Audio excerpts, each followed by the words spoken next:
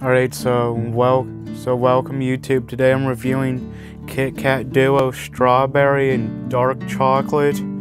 Um I believe this has been out for a bit, but I haven't been able to get my hands on it yet until today.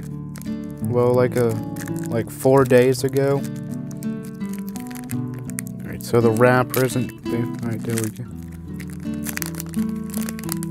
Alright, so I finally got it opened here. Um, trying to break a quarter, like an individual stick off. So let's try.